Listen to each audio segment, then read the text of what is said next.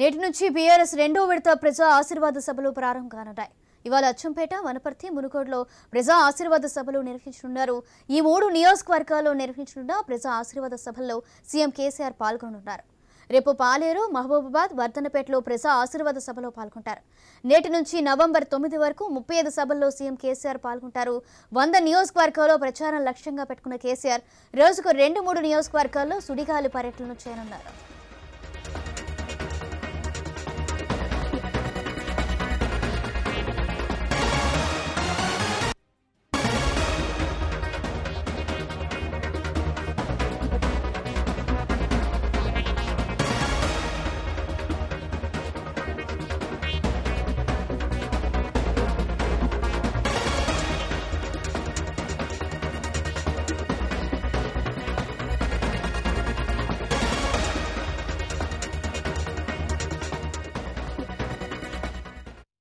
నేటి నుంచి బీఆర్ఎస్ రెండో విడత ప్రజా ఆశీర్వాద సభలు ప్రారంభం కానున్నాయి.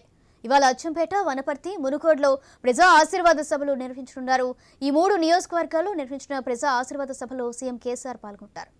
ఇదే విషయానికి సంబంధించి మరింత సమాచారం మా ప్రతినిధి కిరణ్ అందిస్తారు సౌజన్య సీఎం కేసీఆర్ బీఆర్ఎస్ పార్టీ అధినేత కేసీఆర్ ఈ రోజు మునుగోడు నియోజకవర్గం రానున్నారు. మునుగోడులో ప్రజా ఆశీర్వాద సభలో కేసీఆర్ పాల్గొంటారు. సుమారు లక్ష మంది జనాభా అంచనాతో కూడా సభ ఏర్పాట్లు అయితే కొనసాగుతున్నాయి. సిట్టింగ్ ఎమ్మెల్యే బీఆర్ఎస్ పార్టీ అభ్యర్థి కూసుకుంట ప్రభాకర్ రెడ్డి నేతృత్వంలో జన సమీకరణ అయితే చేస్తా ఉన్నటువంటి పరిస్థితి అయితే ఉందని చెప్పు.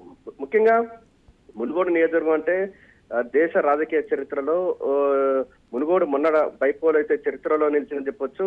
అభివృద్ధి జరుగుతుందని కూడా కుప్పట్లో ఏడాది క్రితం సరిగ్గా ఏడాది క్రితం కోమటిరెడ్డి రాజగోపాల్ రెడ్డి తన పార్టీకి ఎమ్మెల్యే పదవికి కూడా రాజీనామా చేశారు. అనంతరం రాష్ట్ర నాయకత్వం మొత్తం కూడా మునుగోడులో బాగా వేసింది.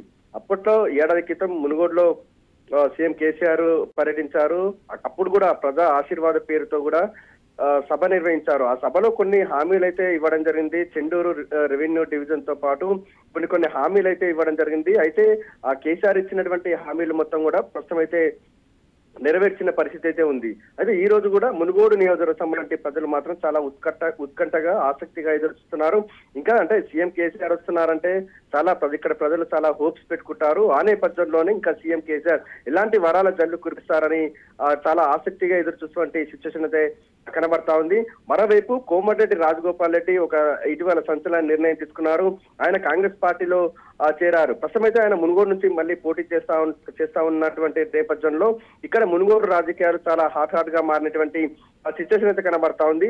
ఆ నేపథ్యంలో ఎందుకంటే రాజగోపాల్ రెడ్డి చాలా బలమైన ప్రత్యర్థి కాబట్టి ఇంకా ఎటువంటి వరాల జల్లు కురిపిస్తారు. ఓటర్లను ఆకర్షించేందుకు ఇటు ప్రజలు మొత్తం కూడా ఇటు బీఆర్ఎస్ వైపు మళ్ళేందుకు కూడా ఎటువంటి వరాల జల్లు కురిపిస్తారని మాత్రం చాలా హాట్ హాట్గా కొనసాగుతుంది మొత్తానికైతే లక్ష మంది జనాభాతో ఈ సభ నిర్వహిస్తున్నారు. సభ సక్సెస్ చేసేందుకు కూడా శ్రేణి అనేది కూడా సౌజన్యం.